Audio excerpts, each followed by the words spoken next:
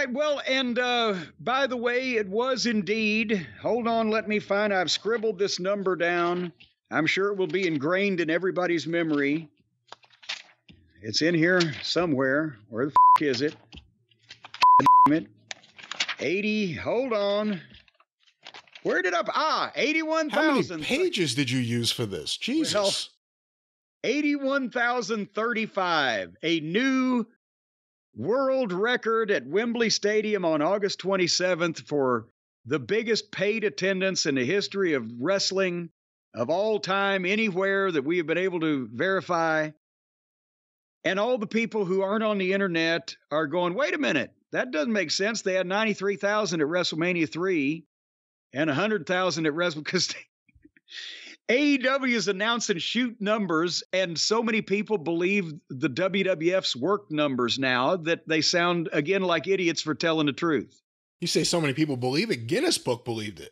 Yes, they you know, and they like they're like Trump. They just said bullshit so long that people believed it. They still do it. I mean, it's not like just for WrestleMania 3. For every year's WrestleMania, we hear about what they announced, then we hear about the legitimate number, and then we hear about the comps, then we hear how many people they think could possibly be working in the area of the building. You know, I know Brandon Thurston at WrestleNomics just did a study attempting to count the seats at the Silverdome based on photos to see how many could possibly have been in there, even if they sold every ticket. So there's still so many questions about that. And with All In, give Tony Khan credit. This is something to brag about in an era where WWE is constantly announcing one record after another.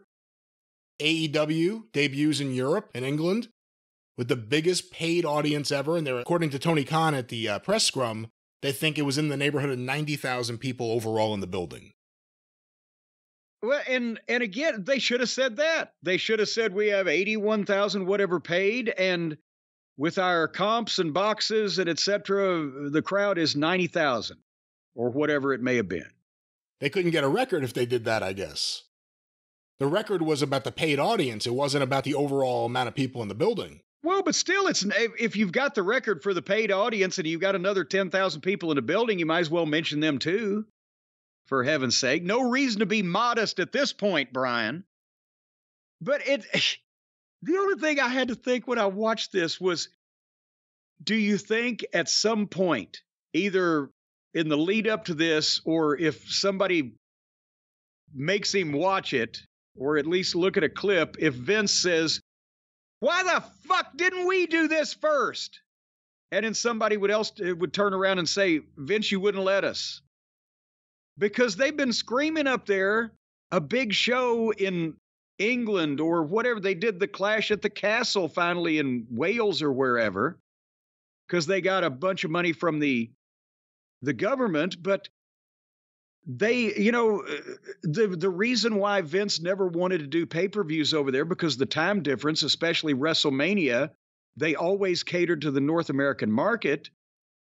But do you think now he's thinking, well, fuck, we could have done this? Tony Khan has announced that the preliminary pay per view numbers were the biggest numbers in over a year, with an afternoon start time in on the East Coast. So obviously, it did not have a real negative effect, I don't think, on those pay per view buys. And that was, I always think, Vince's biggest concern about running the event from over there. Well, but remember this now. That's when eh, pay per view buys were in the several hundred thousands or 500,000 or 600,000 or 700,000 or whatever the fuck. Now that, I mean, I'm not doubting this is Tony's biggest in a year, but even, especially with Peacock, the WWE doesn't really do particularly pay per view numbers of any kind anymore. But we're down now to the people that are going to order the wrestling pay per view are not the, the people during the Attitude Era that ordered it and have 10 friends come over and get pizza. It doesn't matter what time of day it is. They're going to watch it, they're going to record it, they're going to stream it. It's down to the, what is it, 100,000, 150,000 that are going to watch no matter what time it's on or what day. You know, and another thing is, remember, Cena just teased it just recently at that show, WrestleMania in London. WWE's already teasing going down the path of trying to get it subsidized. Which is what they do now. They have different Right. towns bidding on WrestleMania, and then they get a whole bunch of breaks for it. AEW didn't have to do that, and they got upwards of 90,000 people in the building. Well, see, And they already announced a return date for next year. Tony Khan said at the scrum afterwards, he wants this to be an annual bank holiday event in England. Okay, uh, slow down, cowboy. I mean, you know, here's the thing. This is the first time they've ever been to the United Kingdom. Next time will be the first time in a year. You get a law of diminishing returns.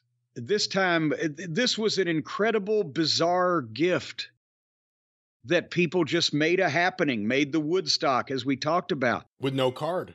no card. It you know, and again, could Austin and Rock have done that 25 years ago if they'd run Wembley Stadium? Of course they could have. But this was a happening that you can't rely on to be an annual thing. I think he he should look at his uh, what the the open the tennis uh, tennis facility they got up there in New York. What is it? The Arthur, Ashe. Yeah. First year they sold it out, twenty thousand. Second year they came back. Well, I think did what they do? They did ten or twelve thousand. Maybe a bit more than that, but not as much as the first night. But I understand this year they're coming back again fairly soon, and I understand they're in the single thousands. Because it it's not the first time ever anymore. It's not special anymore. You have to work harder, you have to have a more intriguing attraction or a better main event, whatever the case. And you know, I think it's going to be eye-opening for Tony it, that can you make money if you run Wembley Stadium and you draw 30,000 or 35,000? That's a third of a house. Can you still make a profit? But here's the, the thing they don't need to make money. He's pro- and most of the things that have happened have happened for Tony because he doesn't need to make money for the first time in history. Somebody got in the wrestling business not needing to make money. And I don't mean the guy that had six million bucks from his lottery winnings. I'm talking about that does not need to make money for years. He he got a hundred million dollars and he started a company and we've gone over it.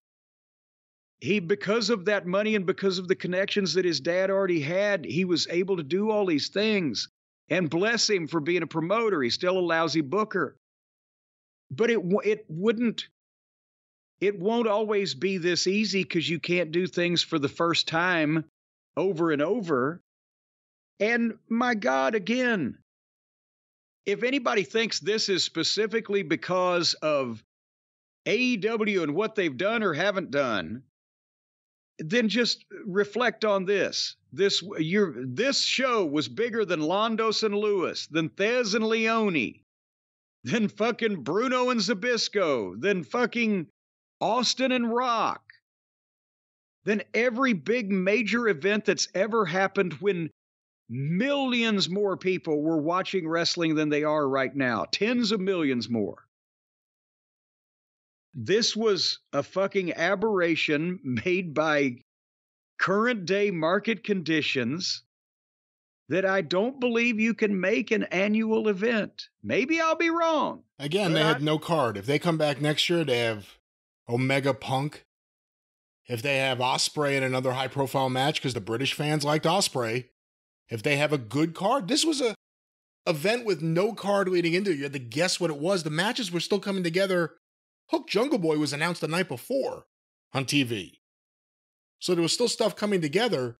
If you had a good card there, and people all seemed to have a real positive experience, they made a whole day out of it, obviously.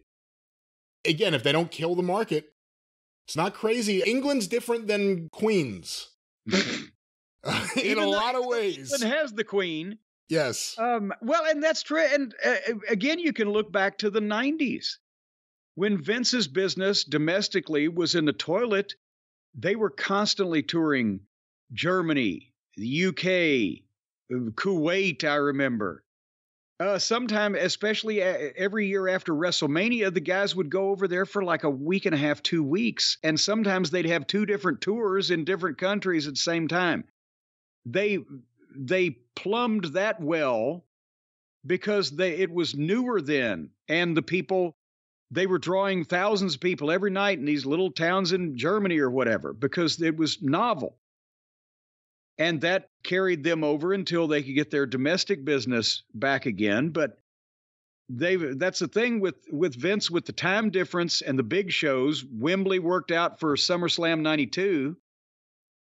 But now that there's you know less emphasis on selling the pay-per-view and more about just getting people to watch Peacock and there's fewer people overall that are watching and more uh, they're more motivated than ever before to watch I don't. I think we're going to see them do something over there as quickly as they Yeah, can. I think they're going to want to be able to one up Tony on this announcement. That's a that's the kind of thing that, for whatever reason, matters a lot to those guys. They're going to want to be able to announce that they have the biggest paid audience ever. Tony's coming back to Wembley next year. It's going to be very interesting. Very, I mean, he was at the media scrum. It was a different Tony Khan, still a little nutty, but more serious. Wearing a suit, his hair was still a mess but a more serious Tony Khan. And I think a lot of it was understanding what just happened. And it is incredible what happened. And he's going to try to do it again next year. And we'll see how the British people take to it. It's going to be very interesting.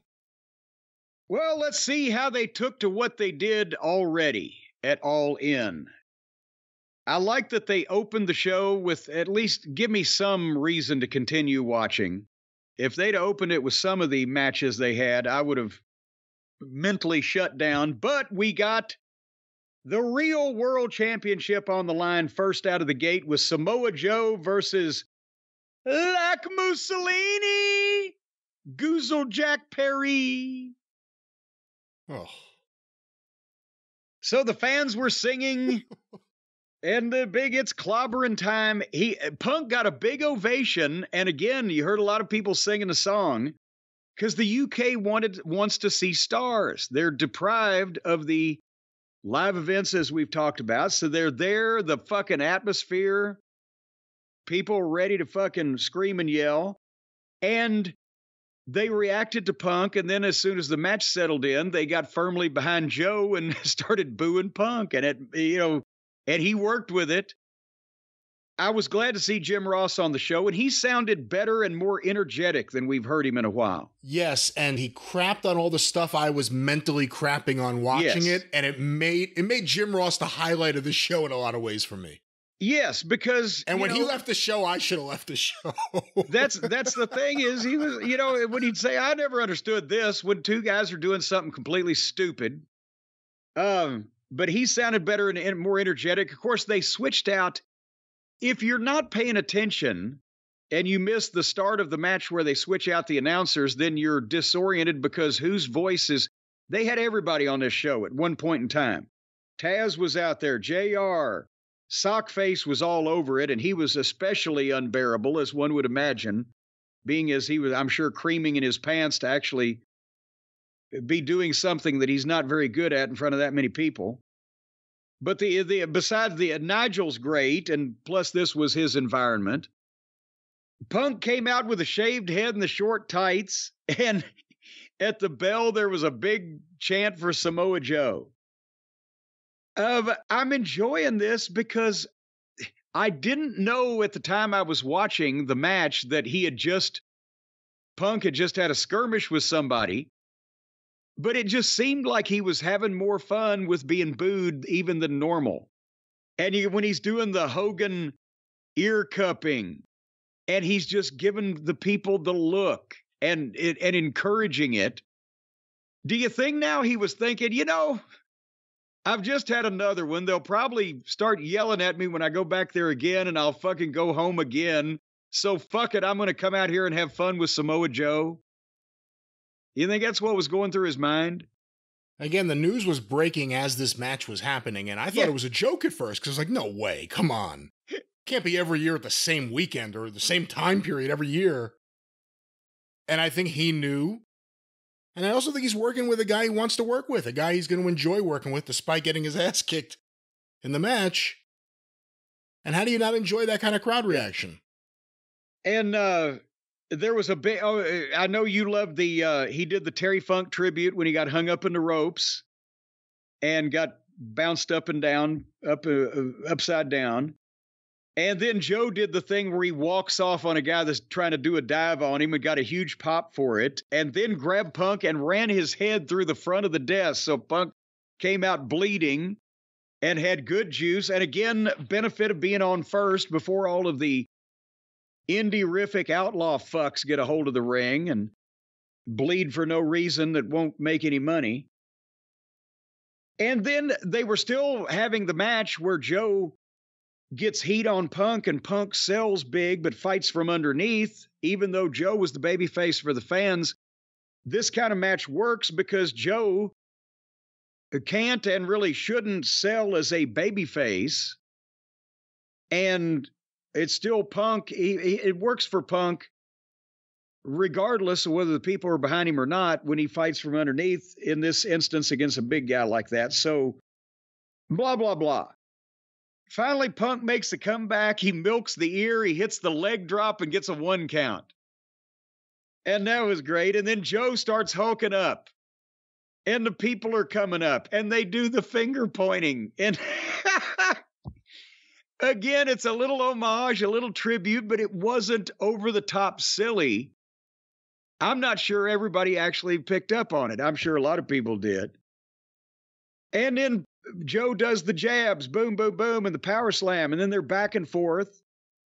And again, Punk does another Terry tribute with a spinning toe hold. We brought that back.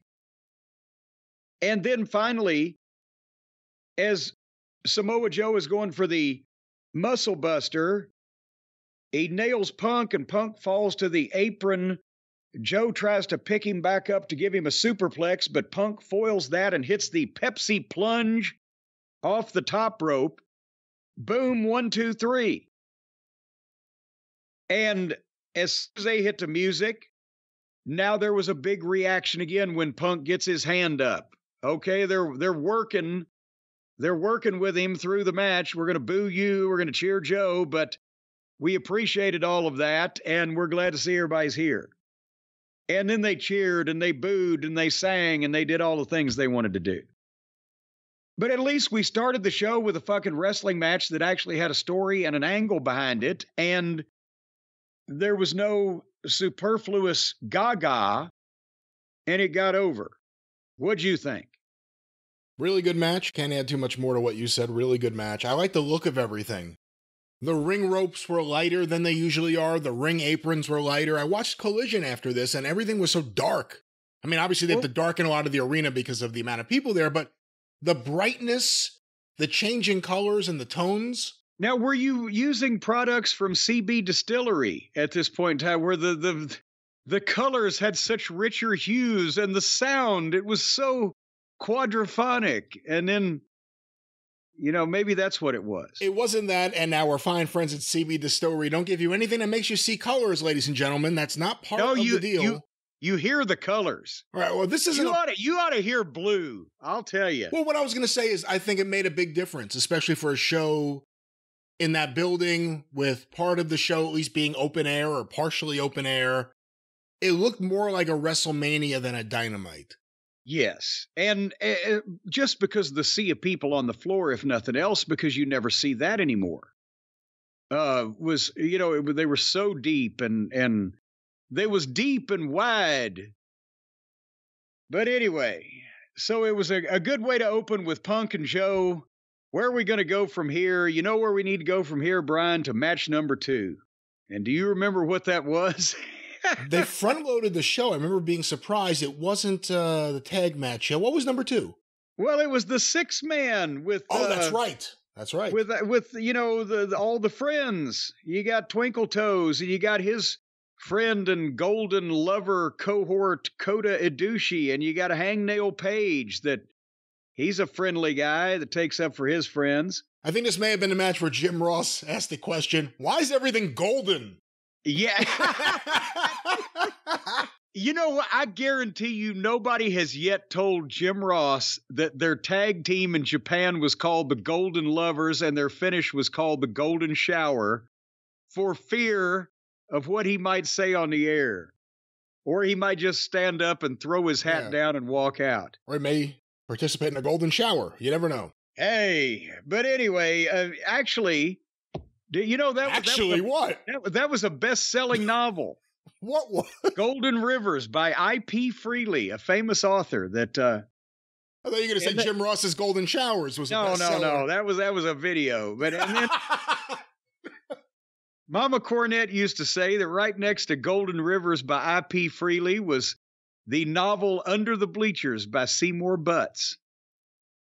Mama Cornette So- used to say that. Mama Cornette used to say that. Hangnail Page, Adushi, and Twinkle Toes against Gin and Juice and Take a Shit. So we didn't get Gin and Juice against FTR in another classic or even a banger. We got them wasted in this, and this was the start of the the modern style of wrestling. Juice Robinson is animated. He makes Twinkle Toes and Hangnail seem exciting when he's in there with them. He, it, it's movement, it's personality, it's fucking, it's different. Sound. He's sa- he's Sound. always saying something. He's always uh, antagonizing his opponents. So I just wrote down just a few highlights of this match. So Ibushi stood there and let Jay White hit him 12 times with forearms that he didn't sell a one of and asked for more of them. That's where JR said, Well, I never understood this. Because it's stupid, so nobody would. And then Jay White took a bump for one kick from old Kota. So the full time guy gets leveled by one kick from this plump, unimpressive part timer, but the the full time guy can hit the part time guy 12 times in a row, and he just, oh, give me some more. That wasn't enough. And then Twinkle Toes got in, and everything suddenly was 100 miles an hour and a lot of wasted motion. And uh, Take a Shit and uh, Ibushi then got in and traded forearms that nobody sold, and then everybody jumped in and derailed the heat that they had going on on Twinkle Toes. After his dives and everything, they stopped him. They started to get some heat on him, but then when everybody came in and started their own fight, that was useless. Knox is useless as a referee, the corpse referee. I wrote Take a Shit is the best of every single one of their Japanese talents, and it's not even close. He's a star. I wish somebody could get him under their wing, under their booking, make him a real wrestler, Pinocchio. Uh, so then Kenny tagged Hangnail and he made a comeback of rushed, sloppy dives, and then everybody did some more stuff. And then Kenny and Kota tried to do their stereo moonsaults where they run to opposite sides of the ring, jump over the top rope, and flip onto two people that are standing there motionless watching this happen. And Kota slipped off the rope and fumbled his footing and had to do a backflip off the bottom rope, which that was interesting. And then the fans chanted Golden Lovers. And then every babyface in the match beat up poor old Jay White by himself. And then they each started pairing off in the ring one against one to do stuff with those people while the other ones disappeared until the cue for their next move. And they were just kind of doing stuff, and it went a while longer. And then Kenny hit two of the heels with knee lifts and take a shit, schoolboyed him one, two, three. That, I mean, there was really nothing. Nothing else to say about it because you couldn't really keep track of it because it was guys doing things to each other over and over again. What'd you think? It was kind of a throwaway six man match in a lot of ways. Kota Ibushi, this is twice now he's appeared in AEW and not appeared to be as impressive as he used to be, whether it's physique wise or just in ring wise. I think it's a waste of Takeshita. He shows so much potential, and not even potential, he's really good. Just watch what he's doing in there, and he's got size and a look. I guess the one positive is he beats Kenny. So it sets him up, hopefully, for some more singles action as opposed to everything being multi person matches. Juice Robinson, from the moment they come out there, from the moment they're on the entranceway. And they stood there for a long time for some reason. but when they're out there, Juice Robinson, you can't take your eyes off him. And he's screaming at you. Even his voice is distinct. And we'll see where they go with this. You know, again, I said before, we talk about Wembley next year. They sold out Wembley with no card. They continued to sell tickets with Kenny Omega being in a match that really didn't matter. I don't think anyone was really looking forward to this match. Not that there aren't good people in the match, no one was looking forward to it. And this is the former world champion. He's just in a six man match. Maybe next year they use him better. Well, I mean, a lot of it depends know, on what kind of condition he's in, to be honest. I, I, was about to say maybe next year, you know, they'll he will have uh, recouped and recovered from because he was talking about, well, I don't know how much longer I can do this. What two or three months ago. So, but never, or maybe he can transition to a a role behind the camera where we don't have to look at him or listen to him. What would a good role for him be behind the camera? Um, cameraman's stool. He could get down on his hands and knees. The cameraman could sit on his back. Anyway, so then we come to the rubber match for the AEW World Tag Team Championship, the Buckaroos versus FTR. And boy, Brian, you and I, we've this is the one we were sure of, the one we knew what was going to happen. There ain't no way that the Buckaroos are going to put FTR over and do what's right for business and the biggest show of all time. They're going to have their their wives and their kids and their uncles and their daddies and their mommies and their mistresses and the whole family's going to be there. Everybody's going to be watching. They know way they're going to do it. They got to beat FTR. They got to rub their faces in it. And for once, Brian, for once, we were, we were, we were, uh, we were wrong. No, we weren't. Because I said the other day, the finish changes if it's what gun? And Tony says everyone thinks the title change is going to happen. I'm not going to lose cash because it's what gun? I'm going to put the titles on them. Obviously, well, you know, Cash Wheeler's running with what gun? What gun? You know what I was going to think, or what I was going to say, is that I believe down deep in my heart that they were indeed going to beat FTR. But then somehow somebody close to them played them what we said and they saw the light. They reformed, Brian. They the, the, like the Grinch, their hearts grew three sizes that day, and they realized by our eloquent commentary on the matter that they would be so selfish and egotistical of them, the gall of them, and so therefore to keep the heat off of them, and because we were able to touch some human part of them down deep, way down deep, that they they had a change of heart and a change of plans. I'd like to think that that we brought this on by appealing to their their humanity.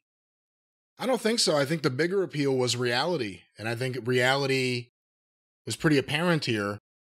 One team is really hot, one team isn't and the Bucks aren't, and beating FTR here would do more damage to FTR than it would do to help the Young Bucks. So you think maybe I think Tony I think even they had to down. see that. I think even they had to see that. Well, but do you think maybe Tony put his foot down? And maybe that's maybe that's why the match was no better than what it was because the the Buckaroos weren't all mentally on board with it. Did you see Boo Boo Job Face, as you put it? Well, it's hard to tell with their faces because they look like pricks no matter what the fuck their emotion is. So it, it, but at the same time, I mean, you know, part of this could have been that I just don't think they're up to it. I don't think the Bucks are up to having a real, legitimate professional wrestling tag team match without doing the same shit they always do and being allowed to do everything under the sun for, you know, just pop after pop after pop from people who like to see shit break and make noise. They had a bunch of their same shit in here, but I look at I look at FTR, they had three match of the year candidates by everybody's assessment, not just ours, with the Briscoe brothers. All three of the matches different, and all three of them took place in a goddamn barn in front of 1,000 people or less. So maybe not the last one. That was on a Ring of Honor show, I think, that maybe had 2,500. And then I see that FTR had the not just our opinion, but the consensus of many people, including even Uncle Dave, the greatest American tag team match on television of modern time or all time with Gin and Juice. And I hear the praise of the six man tags they've been involved in on Collision. And I'm thinking, well, FTR and the Bucks was eh, must be the Bucks. Because you mean to tell me that if they had the match they had on Collision with Gin and Juice, that a rematch in front of 80,000 people would not have been just a rip snorter. And instead, we get this. And yes, FTR tried, but you've got. If the Bucks can't do the same old Buck shit and have the same old match where rules don't matter and it doesn't, nobody can follow it anyway, they can't hang. They can't have a tag team wrestling match. Their timing is shit. I'm not talking about timing on gymnastics. I'm talking about timing on getting heat and being in the right place. Their psychology is rotten. They're still visually ridiculous against two guys that look like Cash and Dax, even much less, you know, the classic teams of days gone by. Their gymnastics are perfect, but that's the same thing they always do. So I don't think they can carry it they're uh, this has exposed them. When they work with teams that are much better from a fundamental level to a psychology level to a fucking execution level of the more intricate shit they they can't hang with it. And you know it got tedious after a while with FTR trying to have a match and them trying to throw in the same flip over the top and yank the guy's ass, and then I'm going to jump back on the apron and backflip off that they have been doing since I was having to suffer through them in Ring of Honor in 2012. So, you know, they were they were going home. Finally, Nick took forever to superplex Dax for the deal where they do the power and glory uh, superplex splash. Matt got hung up on a top rope. They traded Spike pile drivers for two counts, uh, a bunch of false finishes. Finally, the crowd started waking up with the back and forth false finishes. And finally, FTR foiled the Buckaroos and hit the Shatter Machine one, two, three. But I just, it's not even now me just personally being offended by the presence of Maddie and Nikki on the planet. It's that they just aren't as good as now that eh, eh, they may have been a lot to write home about when they started the company and everybody was just all enthralled with this whole idea of the elite. But now that they've had actual talent come in that are better, and we've seen the same old shit with no growth or exponential improvement whatsoever from the Cucamonga kids. It's kids playing. It's more obvious now. Your thoughts? The right result for a number of reasons, but the wrong match in a lot of ways. I think it was the weakest of the three matches between the Bucks and FTR. And the three matches were under very different circumstances. I did hear a lot of people in the building say that it was hotter than it appeared on TV, and that just may be a miking the crowd issue, especially in a building like that.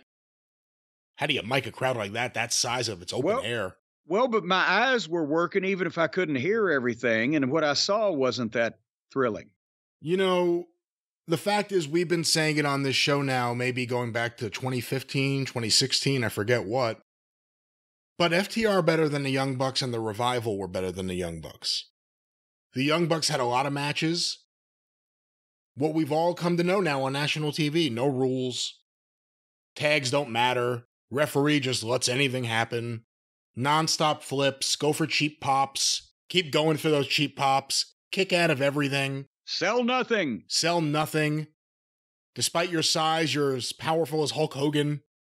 We've seen all of this stuff now for years. When the one dipshit double Northern Lights suplexes two grown men because they let him. It's just. But we've seen all that, and at the same time, you know, FTR and American Alpha was three matches that we saw on TV. I'm not talking about whatever they worked in small towns in Florida. Three matches. FTR and Gargano and Ciampa. Three matches. Not non-stop matches. And those matches were all excellent. They established themselves as being this modern standard of excellence in tag team wrestling and you would just hear the churn from people that love the Young Bucks. And we've now seen them in the same company for years. There's no question anymore. FTR are the more talented tag team. They're the better tag team. Right now, they're the tag team the fans chose out of the two options. And the Young Bucks went with the right thing here because FTR are what's happening right now. People want that music to hit. It's very similar to the Midnight Express. You know, even when you guys were heels, people started looking forward to the music. People want to hear FTR's music hit and they want them to come out there and have a great match. This match became almost a cliche at times. Just kicking out of everything. We're going to do your finishers. You do our finishers. Mm. Why? Why would anyone do any of these things? I will say one positive, and this blew me away. I could be wrong because I've talked about it on the show before. I think this is the very first time AEW has acknowledged Excalibur on commentary, and he was unbearable all night, that FTR lost the first match because Cash Wheeler, in an act of desperation, went for a 450 splash. The team of no flips, just fists went for a flip, and it cost them the match. And then they never said anything about it ever again. This is the first time on this show, because it played into something later in the match, that they mentioned it which I couldn't believe that they finally mentioned it here. I think everyone's ready for both teams to just move on and do something else. And the Young Bucks certainly come out of this cooler than they've ever been. Ever. Since they've been on the Indies. Ever since and, they left and, Impact. and not cool like Fonzie was cool. Cool like cooled off. Yeah. They haven't grown. I mean, if you've been watching AEW since the beginning, you've seen what their matches are. So then it becomes what about the character development? They've become more childish. They become more of a parody of wrestling. They could have leaned into it and just been great heels and gone all the way with that. But it all comes back to the silliness. It's all about them and what they want to do as opposed to what's best for the company. In this case, what was the right thing for the company was the result. Well, now we go you you'd never go full outlaw, Brian, but they went full outlaw. We we've slowly been descending into madness. We had a good wrestling match to start the show, Joe and Punk. Then we had the six man tomfoolery, but at least there, you know, there was a an element of athleticism involved and a couple of names that you could do something with. And then FTR and the Bucks, that had to be done, I guess. But now we've gone to the point of no return. I knew we were in for problems when they announced Giovanni was sitting in to replace Jim Ross. I said, oh boy, he left for a reason. Yeah, they, he didn't want to get any of this on him. Not only did they do a football field fuckery match, but they did it with literal job guys, literal preliminary talent in a gimmick match where anything's supposed to be legal. Now tell me, Brian, I double dog dare you. Tell me who was on what team? Who wrestled this fucking thing? Okay, I could do this. The BCC, so that's Yuta, Moxley, and Claudio. And they're not proud and powerful anymore. Just Mike Santana and Ortiz against the best friends, Pockets, Eddie Kingston, and Penta. God damn it, okay. I didn't think you'd be able to do it. But you realize that since those teams were just put together, literally last Wednesday night was when uh, Santana and Ortiz came out and re debuted, right? Yeah. So the point is think about this.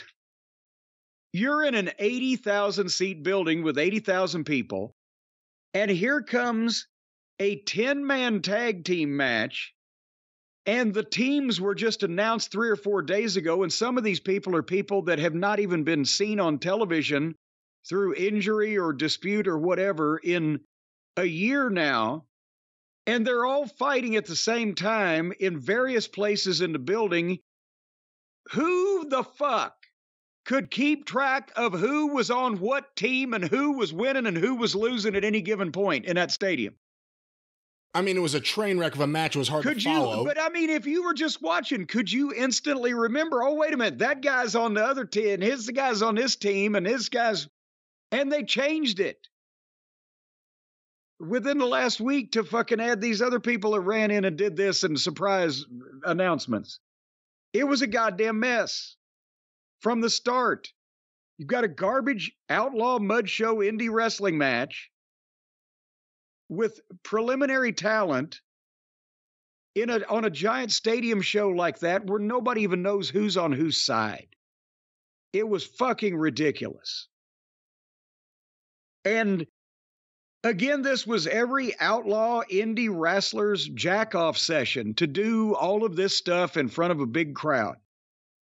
And the plumber was bleeding two minutes in and there were camera shots being missed all over the place because it was such a mess. Nobody knew, nobody could agent this. There was nobody telling the director, oh, make sure you go to camera six. They're about to do this intricate spot. It was just a fucking a mess.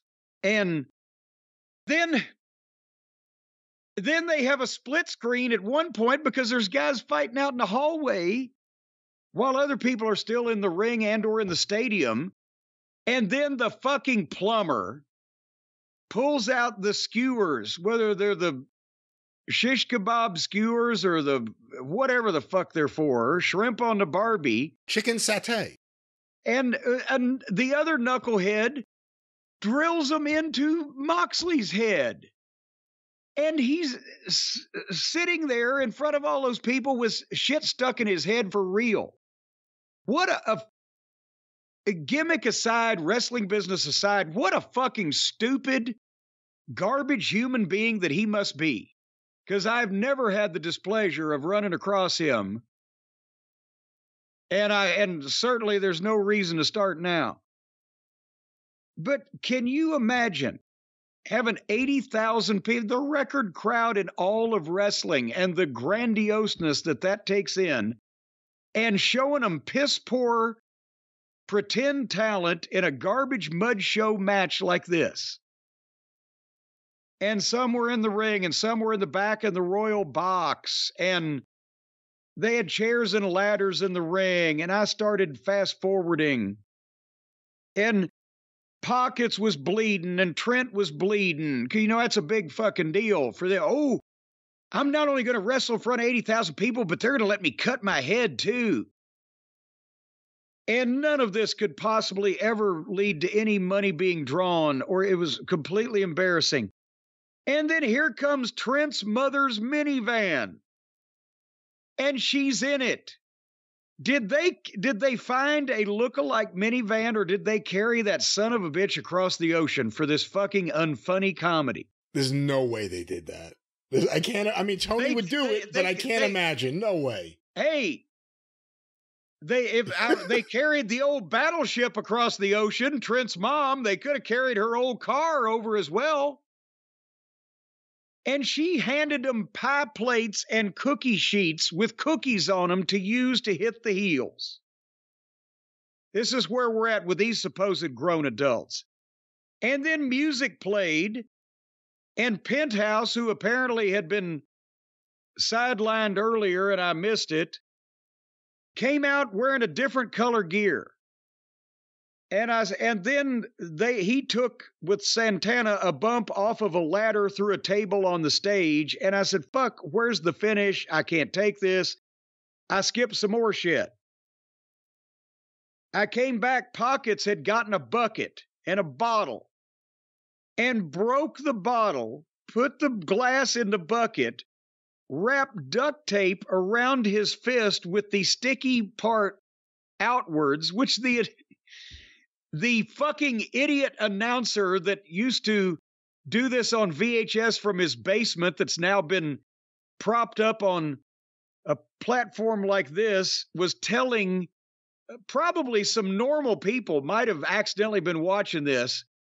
And he was actually telling well the reason why he's doing that is because the sticky part's on the outside so then he stuck his hand in the fucking bucket of glass to make a super glass fist the fuck? These. It's like this is supposed to be the generation of wrestlers that's not on drugs. Is that why the ones from my generation behaved normally, like logical human beings, because they were on drugs? Is this what the human mind comes up with when they're it's totally straight? Because these people are fucking morons. So, as he's got the super glass fist, Claudio and the plumber stopped him. But Kingston beat Claudio up with a chair and then speared the plumber through the table. And then Pockets hit Claudio with the super glass fist. One, two, three. So you now have a situation that was created where the mascot pinned one of the more talented guys in the company who's hidden in this dreck by hitting him with a glass or by hitting him with a Superman punch with broken glass duct tape to his fist. This looked like what Ian Rotten would have done if somebody'd given him money.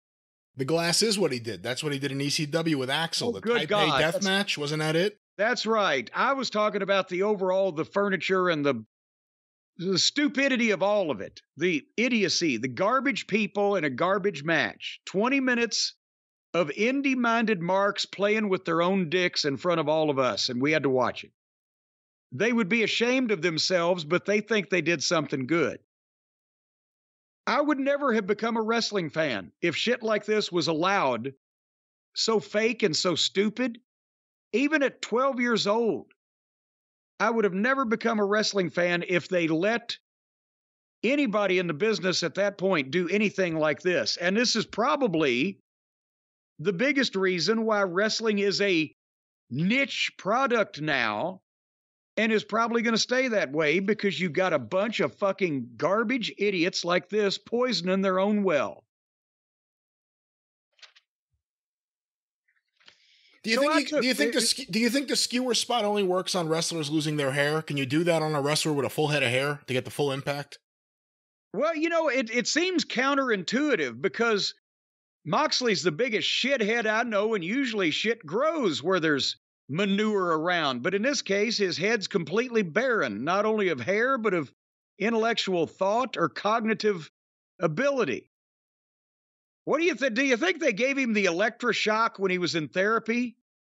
I think Moxley has a fetish for what was CZW, what is GCW, what is Nick Gage, this, you know, whatever you want to call it, just dirty. Then why don't they bring out the chicken and let him bite the head off and and spit the blood? Maybe and, he will. Maybe he will. And and then the, if, if whoever's the Rob Zombie that remakes all the horror movies, he can remake Freaks, and Moxley can be the fucking thing in the box at the end with the feathers. Moxley continues to be an embarrassing guy to have as a professional wrestler. His matches are terrible, whether they have garbage stuff or not. His instincts are clearly horrible. Worst wrestler in the business today.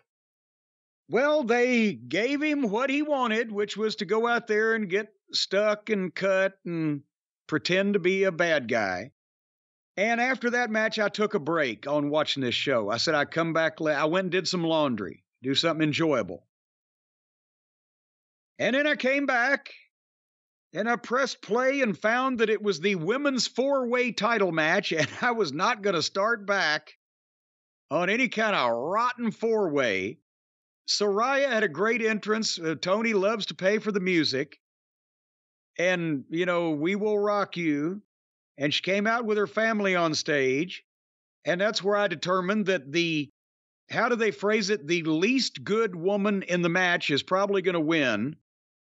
It was Toni Storm versus Britt Baker versus Shida versus Saraya. I think nobody's going to question that out of those four, Saraya is the one you would least want to see wrestle.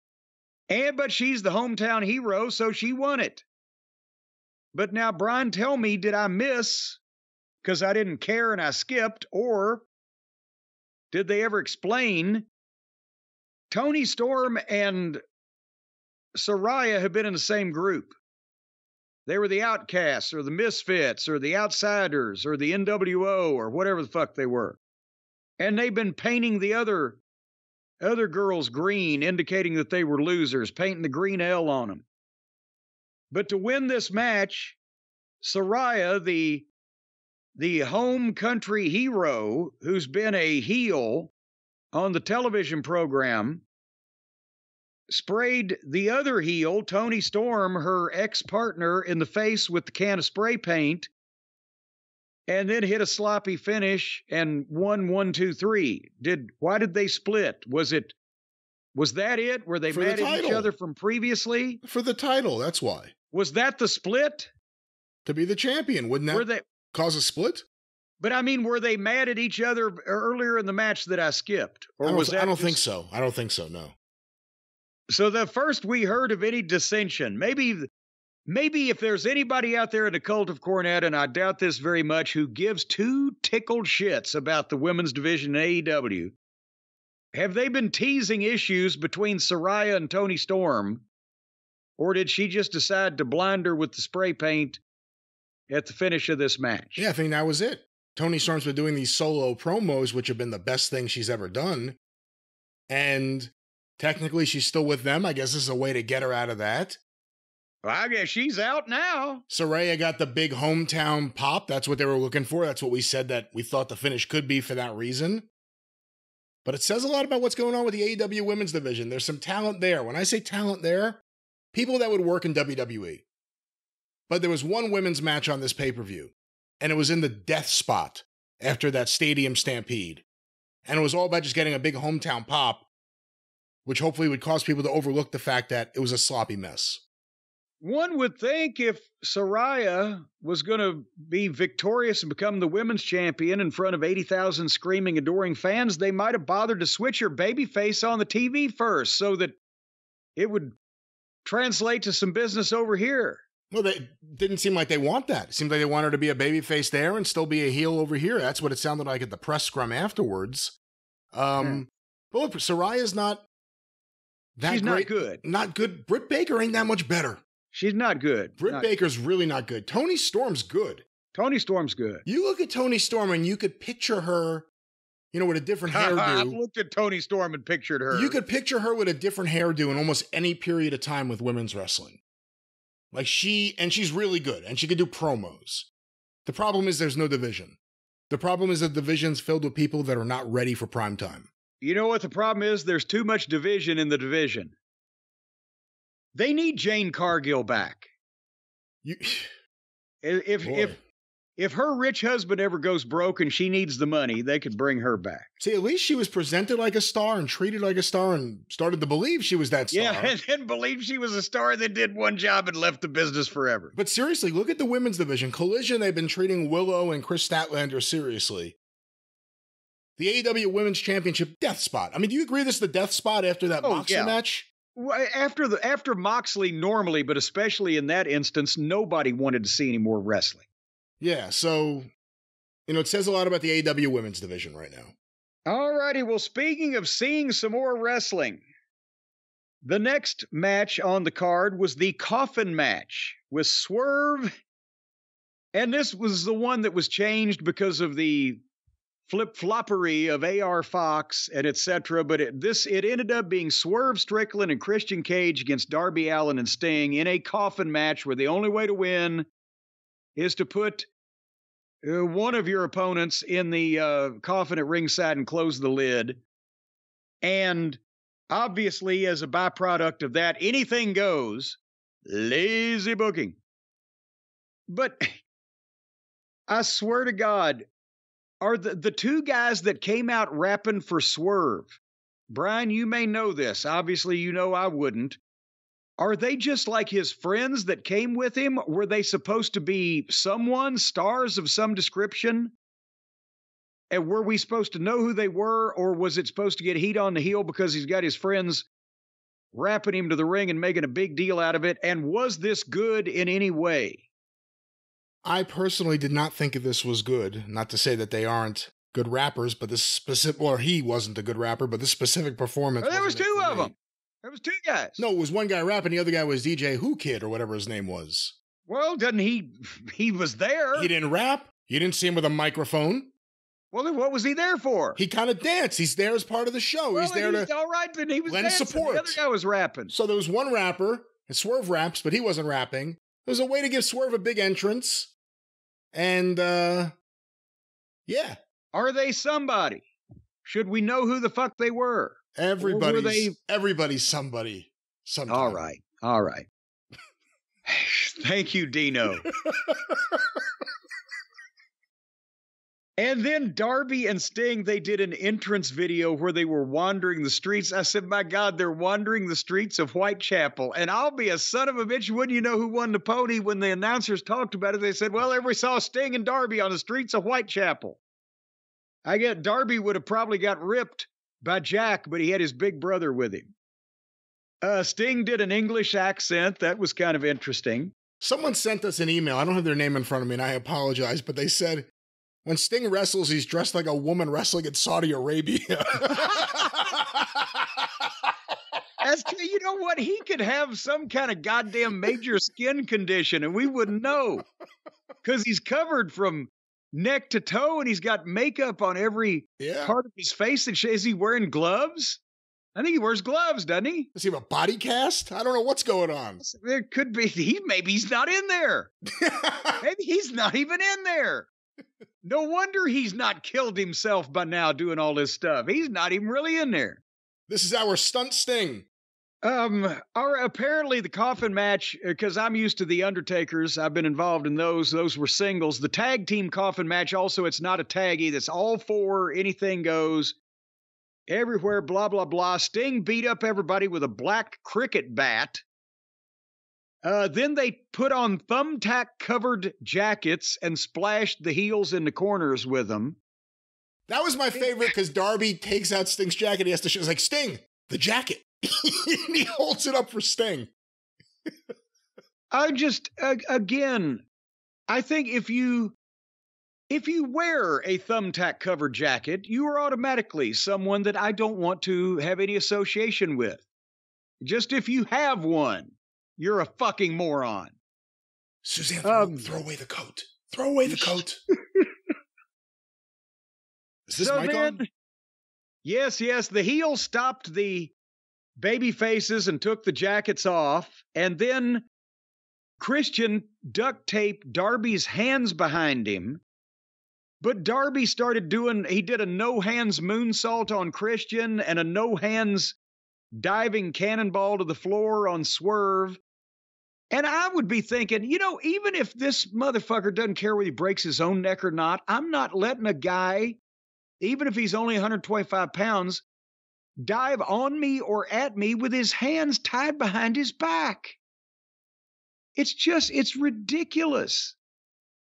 And Christian did the best job he could, and best job probably of anybody on the roster regularly, of being in one of those things, and he still didn't do anything stupid or get anything on him. Really. It- you know, he somehow can still be a professional in the middle of all of this. And Sting then comes off the apron onto Swerve is leaning over the middle of the table. And they're trying to give Sting a spot where he does stuff to get a pop, but at the same time, they don't want him to hurt himself.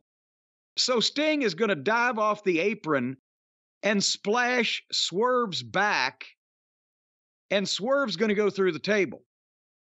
But since he's just coming off the apron and Swerve was already kind of laying on it, and the way he hit again, it didn't break.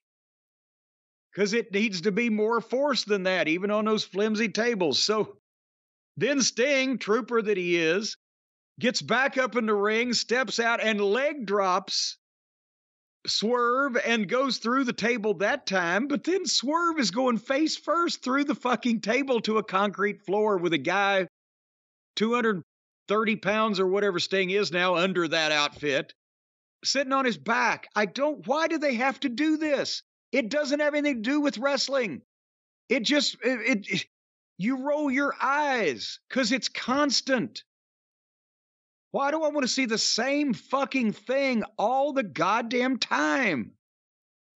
Then they got Christian almost in, but Dino Douche came out and he just beat Darby Allin up, even though he's not in the match. And it's not like interference of the heels of days gone by. It's people just come out and get involved in the match. Well, it's no DQ. So that means you're a fucking bad fucking booker, a bad fucking producer, a bad agent, or a bad wrestler. You can't figure out any other way to do it. And then here comes fucking Nick Wayne and hits the dinosaur with a skateboard, and the dinosaur doesn't sell it and just knocks Nick out and choke slams him on the floor on the skateboard. So again, this 19 year old kid or 18 or whatever the fuck he is is going to demolish his goddamn discs in his back for stupid bumps and nobody's going to remember tomorrow.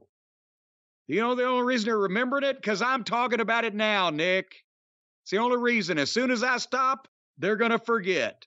So you're a fucking moron.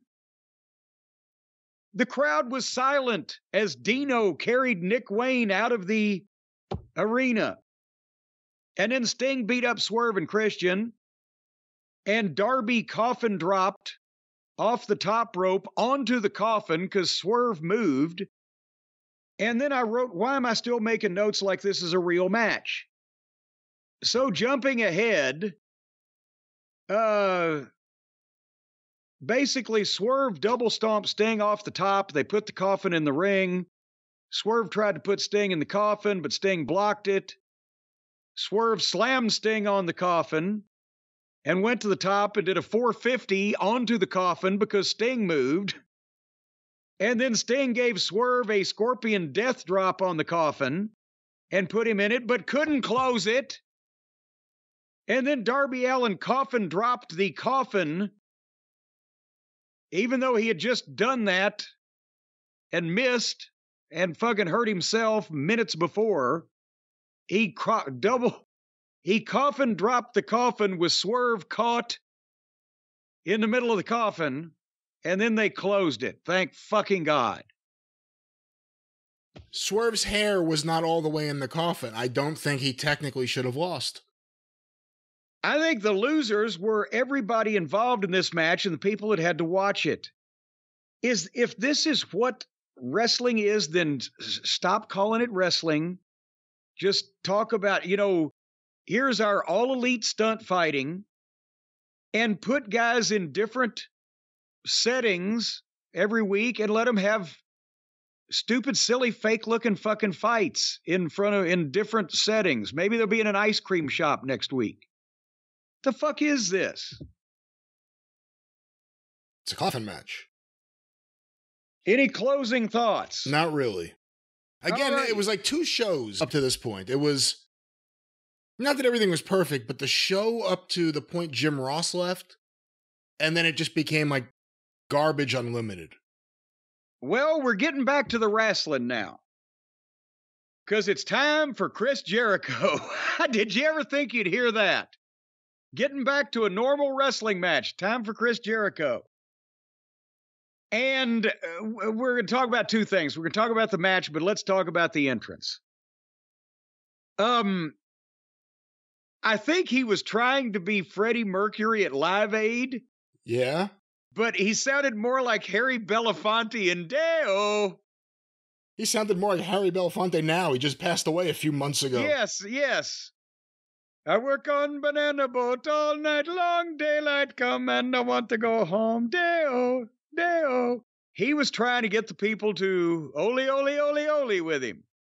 It was really really sad and pathetic. You need you need to be a vocalist of some renown to do that for people at a any type of public gathering, don't you? Someone that he cares about who loves him needs to have the guts to tell him he can't sing. He can't sing.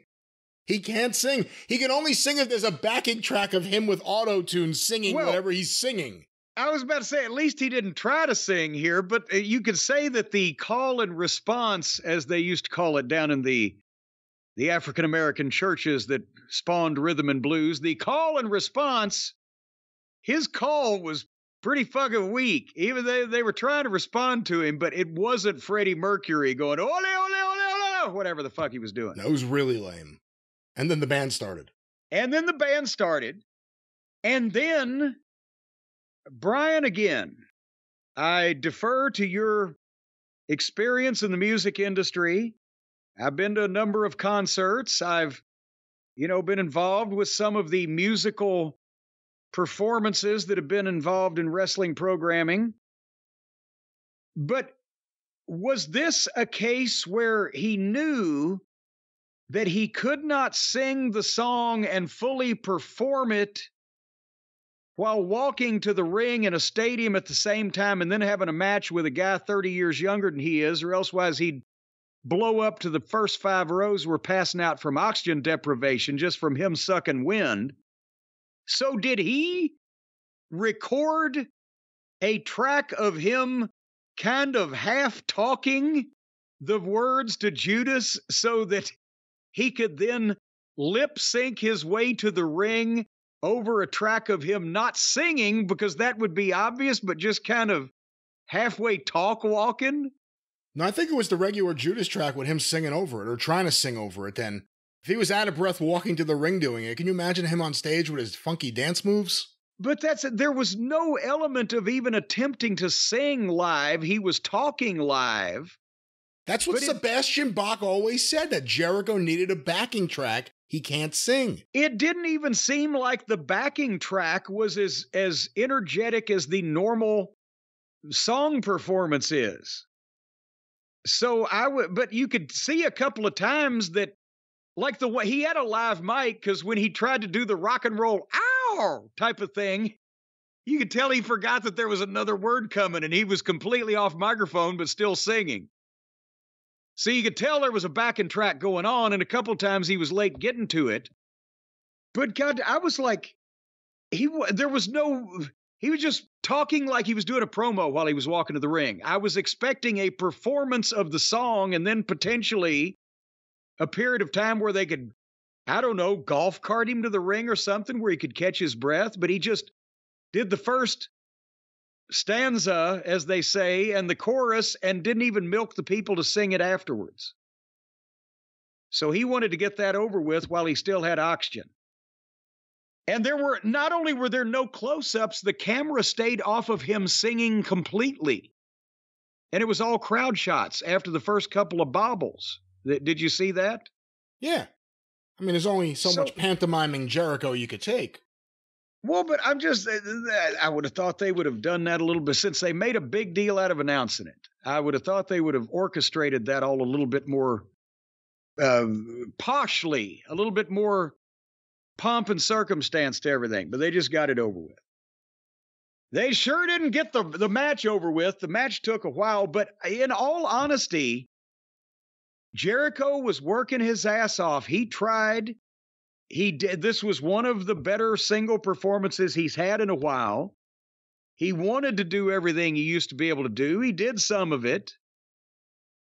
it, it next to the rest of the the card, this was, you know, at least a reputable professional match. Ostrich looks like Action Andretti's big brother, doesn't he? No, I think it's just a haircut. I did no, I'd say there's a body style and everything. He's his big brother.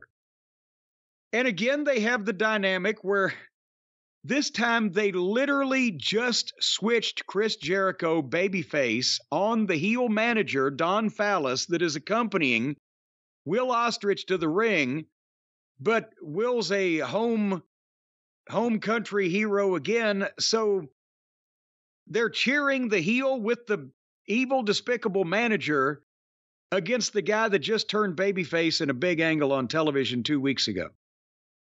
So once again interesting reactions here. Aubrey Ed was the referee for this. I noted that her energy seemed to be unbridled in front of this crowd. Did you notice on the fake forearm exchange that they started with that when Ospreay hit the chop, Jericho sold it big, dropped to his knees, peeled his blade off his wrist, and then as the camera got a close up of Ostrich, Jericho bladed his chest for the chop. Remember he did that?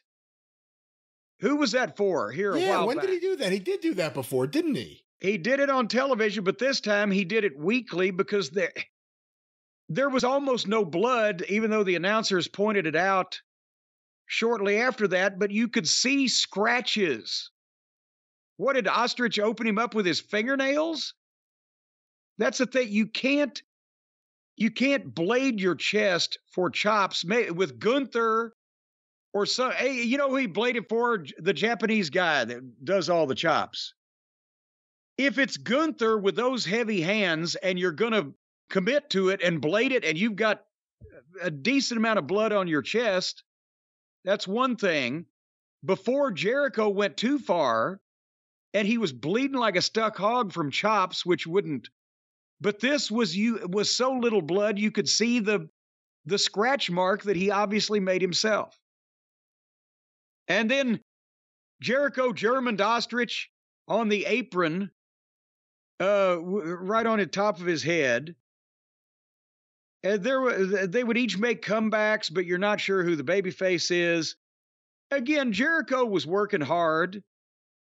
Ostrich, to me, relies too much on the I'm going to flip and land on my feet quickly, and people are going to be surprised.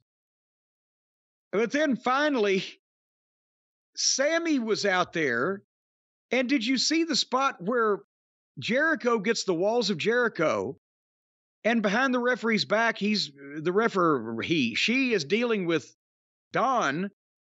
Sammy hit Ostrich in the head with the baseball bat. And within seconds later, Ostrich is escaping from the hold.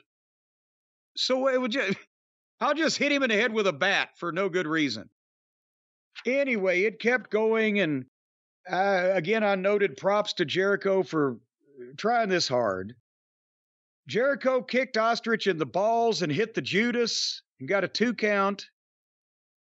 And then Ostrich did all kind of shit and hit some of it and got a two count and then hit more shit and got a three count. So they went to Jericho put him over. It was the right finish for this again for this show, this building, this country. Um and they're still of the opinion that the best way to build a wrestling finish is to do every move to a guy that you can figure out to do until you've done them all and then do one or two more and then pin him. And there it was. What'd you think of your boy Jericho? I thought it was the best Jericho match in a while.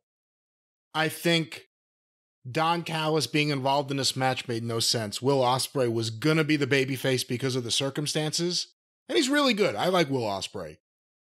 Will Ospreay came out. Callis was like fifty feet behind him. Like they didn't walk out like a guy with his manager next to him or right behind him.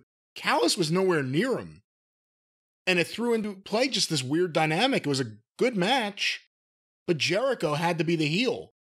He had to be the heel. I mean, there was no other solution here. Good match. Ospreay just did an interview where he talked about the upcoming bidding for him, which is a little weird because that's MJF's gimmick. Ospreay would be a good get for AEW. I like Ospreay. Well, they've already got him. He's already gotten got. Well, no, he's there for this, but technically, I think he's still a New Japan wrestler. Well, why buy the cow when you can get the milk for free? Who's the cow in this situation? Well, that's it may be utterly ridiculous to you, but I think it's ostrich. Okay.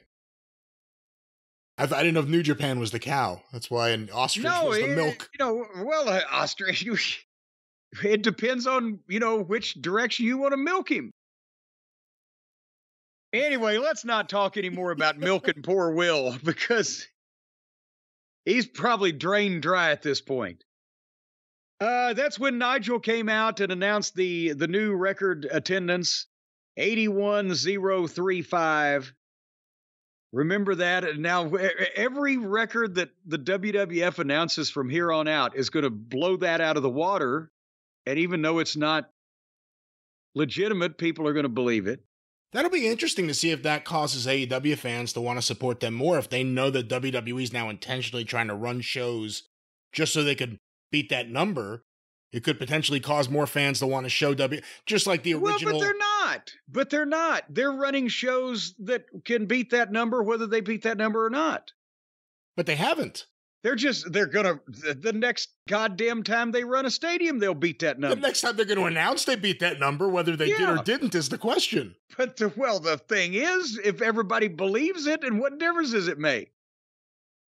That's true. 93,173. That's right. so, anyway, for the six man tag team title, the House of Black uh, versus the acclaimed and Billy Gunn. And as we mentioned, uh, this whole angle has been not to get the acclaimed out on their own, but to bring Billy back to save them. And they got into an immediate six way and they jumped down, started fighting on the floor. The one thing I liked this was pay per view and they're in England, where apparently they have a little bit better tolerance of things like this. So they did the big leg drop to Julia Hart right in her crotch. They'd they, be able to get away with that here. And this sounds crazy, but I was thinking and watching it because you can't believe that anyone would do that nowadays just because of the reaction you anticipate. Would they have done this with any other wrestler other than Bowens? Because Bowens established that he's not into women. So it's not like a threatening domestic violence kind wait, of situation. I don't care if you're wait, I don't care if you're straight, gay, bi, trans, animal, vegetable, or mineral. If you jump off the top rope, I'm not justifying it. Leg in somebody's crotch, that's a bit aggressive. I agree, but do you think AEW would only do this with Bowens? I never even thought about that. I just figured because it's on pay per view, they can't get kicked off of television. And it's not like something that you would do. I've do. not heard one complaint about it. No, there wasn't, the people cheered. And there, and also, it's not like something you can do in a domestic altercation. Have you ever heard about a guy beating his wife by jumping off the dresser in the bedroom and dropping a leg on her crotch? Jimmy Snuka. Maybe once. And then, and then, if Bowens is gay, well, there you go. There's a, some kind of, some kind of, I don't know, fucking energy that indicates that it's not male on female violence if it's a female heel manager and a gay male baby face. Somehow the, the fucking chemistry works out. But anyway, Julia got to take a little bump there. What'd you think of the fact the House of Black were wearing all white? Well, that was a little disorienting. I thought maybe I'd I'd I needed the color bars to come back up. I'd set my hues wrong. All right, so back to this. Yes, the House of Black and White Maybe they should be the House of Black and White. And they could come out with rabbit ears on like the old days. They were all dressed in white. Knights in white satin. Maybe they could be that. Uh, they never reached the end of this match. Uh, the heels just beat the shit out of the baby faces. By the way, this was all six guys in the ring at the same time the whole match. Again, no holds barred. House rules. No holes barred. Anything goes. No DQ. Lazy booking. So, wait a minute. Let's go back. We had a real match on first Joe and Punk. Then the six man didn't have special rules, but they just acted like it. Uh, the tag team match didn't have special rules, thank goodness. And then we had football field fuckery. And then we had a four way women's match, and then we had the coffin match, anything goes, and then we have Jericho and Ostrich, which had rules, but then right back away from the rules with the no rules six man. And it was in and out of the ring at the same time, and chairs and etc. And then they hit Brody King with about 18 moves, and all three of them covered him. And the referee counted it one, two, three, and we've got new champions. So now, except for the Bullet Club, the House of Black were the top heels on Saturday night, and they've just gotten beaten by the acclaimed and their senior citizen sidekick that is actually the toughest guy on the roster. And the House of Black handed over the belts and walked out. That's what happened there. So now, what are the acclaimed and Billy going to do? Because there's so many trios teams lined up to face them. I don't know. And again, House of Black wore all white, a typical babyface move, and then they handed over the belts with no problem and walked off. Let's see what they do, but But now wait wait a minute, they can't be switching babyface because then they'd have to let Julia Hart go back to, to grade school. They've obviously Why? they kidnapped her. No, I don't think so. I think she enjoys They're being holding her them. against her will. Are you saying this is like a Symbionese Liberation Army thing with Tania, Patty Hearst? No, that's what you're saying. I'm not saying that completely. I, th- I think uh, I think she's she needs to have a stricter talk with them. I think the evil needs to flow from her because the rest of them are just kind of hanging around. That's why I like the acclaimed rap so good on Collision. They really made fun of the House of Black, like perfectly, pointed out all their weaknesses. It's really good. oh, if we only had time to point out everybody's weaknesses. Well, it was a lot of time on this show. Again, I actually missed a little bit of this match because I needed a break. A long day of wrestling. Again, I watched the pre-show. You didn't. I got to see the MJF Adam Cole tag match. Oh, I, I went I went back and and uh, and viewed that match and the the Perry incident on the pre-show, which was the pre-show was two as it was zero hour, but the clip that I saw on the internet was two hours long. So they had a two hour zero hour followed by four hours of this pay-per-view. I got zero hour an hour before the pay-per-view began, which is when I think they announced it. And that's when the tag title match was and the Jack Perry match with Hook. I ordered the pay-per-view on real television and didn't get dick all of the zero hour. It started right with the pay-per-view. Well, it began with them basically saying, We've already had an hour of action here. Like, what? What are you talking about? Apparently, they did some kind of thing that didn't air on any of this, where the Big Show and Anthony Ogogo took on Jeff Jarrett and Satnam Singh and Jay Lethal and beat them all up. I wonder if they just got to Wembley Stadium about six o'clock in the morning and just did some matches just for themselves. The ring is here. do it. Let's do it. The ring is set up. Let's get out there and just start the show. Well, but they finished the show with the biggest money match of uh, the the match that drew the biggest paid attendance of all time. Not, as I said before, Londos and Lewis or Gotch and Hackenschmidt, or Thesz and Leone or Rogers and O'Connor, or even Rock and Austin. As much as we like both of them at various points, and sometimes as much as we get disappointed in them at various points, Adam Cole and MJF main event on the biggest show of all time. Although, again, course- main event on the biggest show of all time is different than drawing the gate. or the well, I was about to say seven, 75 of the 80,000 tickets were sold before we knew the match was going to take place, but let's not let details get in the way of everybody's enjoyment. Again, I like, you know, the entrance is with MJF being an obnoxious, egotistical, self centered type of fellow. I like the entrance with the ominous music and being carried to the ring on the platform and the devil mask and the maidens bowing to him and everything. It's just that it was a lot cooler when he was doing that and people were doing that and bowing to him when he wasn't on TV every week, you know, at, at Chuck E. Cheese playing dodgeball with six year olds and telling Adam Cole how how much he and it loves him as a friend and all that stuff. It it's not the same devil anymore, is it?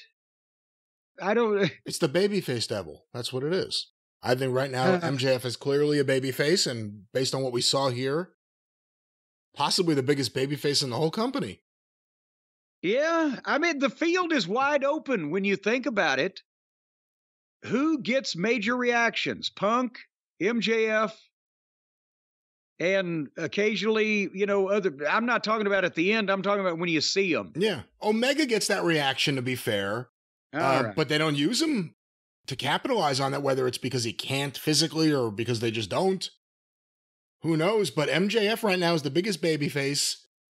And I heard from people in the building, and we've gotten a lot of feedback from listeners there. A lot of people wearing Cornette face t shirts in attendance, apparently. But they say that the crowd was totally into MJF and Adam Cole.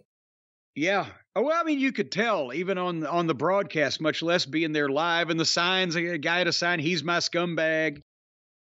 And this was these guys are both talented. Adam Cole has a very expressive face, especially when he's got the face of like uh, something's bullshit or he's surprised or shocked or you can't you can't be serious face.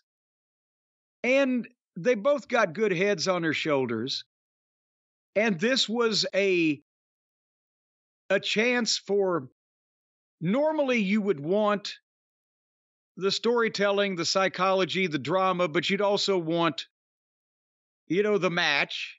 You know, the the old Flair Steamboat equation is it it's as entertaining as sport can possibly be while not being phony, but it's also as sports like as entertainment can possibly be. You you try to go for that that balance.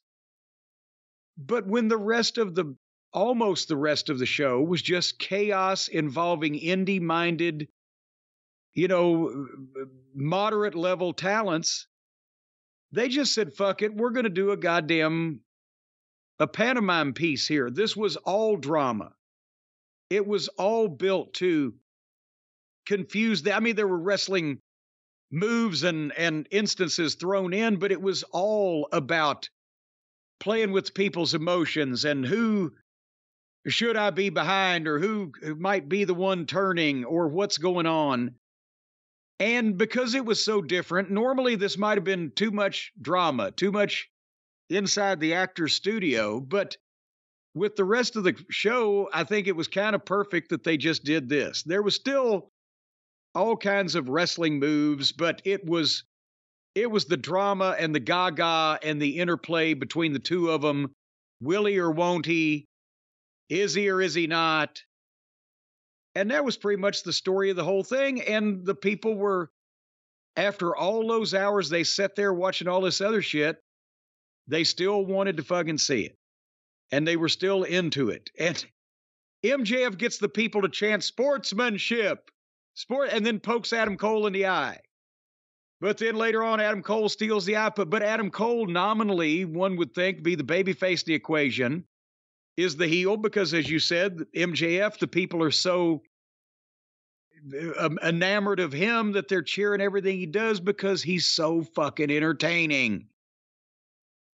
And, you know, whether they're coaxing, you know, the, the people to coax MJF to dive or not to dive or whatever. Um, and, and the mind games they're playing where later on in the match, they're both fighting on the desk, and MJF goes for a tombstone but can't do it.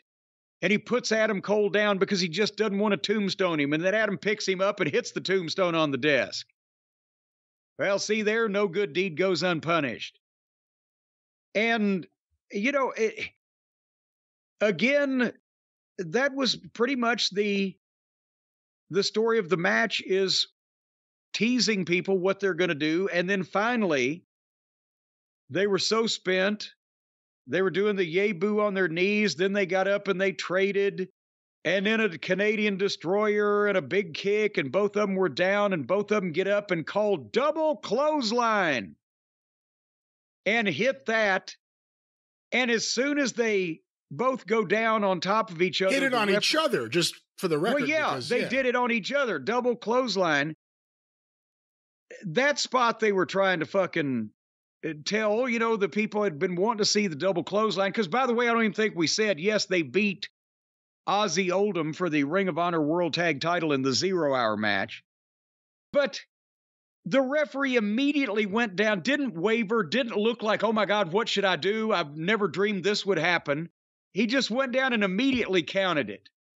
And so the fans booed it, and the referee called for a draw and the fans booed more, but you could tell where they were going because it was way too quick. I don't maybe some fans thought, oh, they're gonna fuck us like this.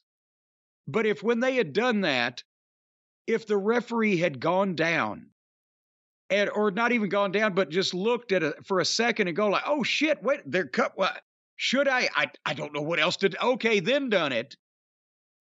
You might have you might have set the hook in their mouth a little better. But then Adam asks for five more minutes, and MJF says no. Five minutes isn't enough. We're going till we got a winner in fucking Wembley. Motherfucker. Fuck. Fuck. No, they had to say fuck on pay per view. And then we're off again. And Did as you- soon as Did they boost the mics when MJF started talking more? The- Probably. it felt like it got a lot louder. Yeah. Yes, probably did because they didn't want to miss that. And then immediately they wipe out the referee. And so MJF sees there's no referee and he goes and gets a chair. But then he's going to do the Eddie Guerrero thing where he throws the chair to Adam, but Adam Cole throws it back at him. And they keep tossing the chair back and forth. It's like duck season, rabbit season, duck season, rabbit season. And finally, Adam falls down like he got hit with it. So said MJF says, fuck it. He puts the chair over his own head and lays down. And I mean, this is again, can you imagine Austin and Rock having done this? No. But eh, for the fact that they've I seen could see The Rock doing it, not Austin. well, yeah, but I mean, in, in the middle of a WrestleMania main event, it was a little much. But again, finally the referee gets up and MJF takes back over. And then they go to the apron, but uh, Adams German suplexes MJF on the apron. Turnabout is fair play. And the Panama Sunrise off the apron onto MJF onto the floor and then rolls MJF in two count. That's a bit much. I know they're not all high risk guys here, especially MJF, but goddamn. So then, as Adam Cole tries the Panama Sunrise in the ring, MJF pulls the referee into it, and the referee gets Panama Sunrise. That's where Adam Cole looks like he just seen a fucking space alien. What'd you think of that spot of doing that? The idea that the referee would be there and Adam Cole would be able to just hit that move of all moves to the guy that was just again- shoved into place. a lot of showbiz in this match, and it was working because of the personalities and because they've been waiting to see something that meant something besides just this constant interchangeable chaos. So they're telling a story, even though if it's a phony story. Uh, MJF puts the diamond ring on, but he's conflicted, and he takes it off and puts it away. But as he does that, Roddy comes in, Roderick Strong, and kicks MJF in the balls and then jumps out. Well, then Adam sees Roddy. I don't know if he saw the ball kick, but see, or, or after seeing Roddy, he still hits the Panama Sunrise and the knee on MJF. But when he covers him, there's no referee. And so there's a delay. But finally, referee comes up one, two, MJF kicks out. There's a big pop. Now Roddy throws the belt, the title belt, to Adam Cole, but Adam Cole is conflicted. And he throws the belt down, and Roddy stalks off because he's pissed. And Adam Cole turns to MJF, and MJF small packages him one, two, three. Ding, ding, ding. And that was it. And I wrote exclamation point, question mark, exclamation point, question mark. Uh, and then MJF consoled Adam Cole because now Adam's in the corner with mad boo boo face on and and uh, you know like I lost it, I blew it. And MJF is getting the people to cheer for him. And he said, "Look, look, buddy, look, buddy!" And he goes out and gets the Ring of Honor belts. We still got these. And Adam grabs the Ring of Honor belts and throws them down on the ground. And the people get hot. They're like, "Ooh!" And then MJF gets mad. He says, So you never gave a shit about me? It was just the belt, right? Well, fuck it then. And he gives Cole the belt and turns his back on Adam Cole. And Roddy comes out and tells Cole, Do it, do it. And Adam throws the belt down. And then Adam and MJF hug. And Roddy disappears again. And they celebrate. And we're back where we fucking were. Well, how did you feel about the revelation or lack thereof of anything going on here that we talked about? Did they have to extend it because the ratings had been so fantastic over it? But how do all those people feel, or all the people are on TV that are going to watch the highlights this coming week when nothing happened? I think the people will be happy. It's just like the bloodline. Who cares about the match? They wanted the hug. They got the hug. I think. God, why didn't I get in the wrestling business when it was this easy? We had to have finishes. They just need hugs. I think the fans there were into it. And, you know, we're not totally crazy about the entertainment elements that have been introduced into a lot of these things, but those fans are really into it. And the other thing is, in terms of a finish, there weren't too many options that seemed like it would be good. I mean, we talked about it. MJF could screw over Cole. Cole's an idiot. Cole screws over MJF. Now he's a complete idiot. The best option was them continuing on with getting along. Now they we said it. It may have been earlier this show. I don't know if it was today or another day. But they can't keep teasing the I'm going to be mad at you, I'm going to super kick you. If they're going to turn on each other, it has to happen soon. that shit can't continue. But otherwise, MJF's the biggest baby face in the company. And right now, depending on what happens with Punk, he may be the biggest star in the company. Well, we shall see. Well, on that topic, Jim. Uh, well, I get anything else for All In? Any other comments about well, All uh, In? no, you know, it, it was a bizarre main event for a world title match in a show like that, but it, it fit the unique situation, and they better be lucky. And Adam Cole did a great job, and they better consider themselves very lucky. They've got MJF to somehow make this work because with anybody else in the wrestling business, can you see it at all? No. And again, based on what I assume are physical limitations on Adam Cole, this has all worked for the best for him for getting him on TV in a serviceable way.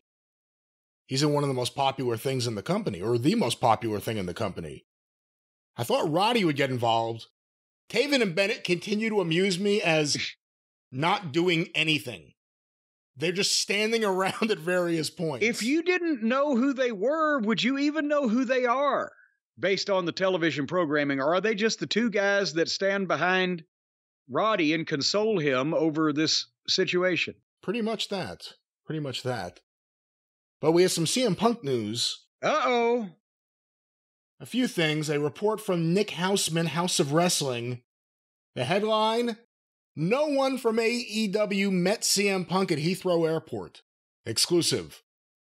Before things backstage became chaotic for Punk, it sounds as if his travel also had some hiccups. Uh oh. House of Wrestling has learned that when Punk landed at Heathrow Airport for AEW All in London on Saturday morning, no one from AEW was there to greet him. There was also no car service to take him to his hotel and when he texted a number he was given by AEW for the driver, it bounced back as being an invalid number. After waiting for a while, Punk showed. They, they fly the biggest star in the company across the fucking ocean and leave him standing at fucking Heathrow Airport with no idea where he's supposed to go or how he's supposed to fucking get there. And the contact that he's given for his alleged transportation is no good. After waiting for a while, Punk chose to buy a train ticket and find his own way to the hotel. We are told that the tube, that's the subway in England, was fairly busy at the time. Punk got lost, and a few fans who noticed the Second City Saint helped him figure out where he was going. Oh my God. It appears that Punk got into London so close to the actual event because he had taping commitments in Atlanta on Wednesday and wanted to spend Thursday with his wife and dog Larry. Before, his wife's not named, but his dog Larry is. His wife and his dog Larry before heading out on Friday and landing on Saturday morning. Well, so that's, that's the first punk report. For the show. Right? Was the show Saturday? was the show Saturday? Oh, show was Saturday. Saturday. Show was Saturday uh, evening in London, afternoon here in the East. Right. Or the West, I guess, technically. In the East. Well, that's the first report. The second report Bryan Alvarez of F4W Online and the Wrestling Observer is reporting the belief within AEW is that Punk and Jack were both suspended pending the results of an investigation, which would mean neither will work all out. What? If they don't have Punk it all out, can you imagine? In Chicago, they'll boo him out of the fucking building. What the fuck? Why would you suspend the fucking guy that's the star of the goddamn show because this small fucking insignificant numbnut brained idiot, Jack Perry, decides that he's again going to do childish shit. And when he finds out that at least some people in this business still stand up for themselves, and he gets snatched, and then he goes crying to somebody about it. Can nobody take their goddamn uh, earned ass kicking anymore? Uh, what the fuck?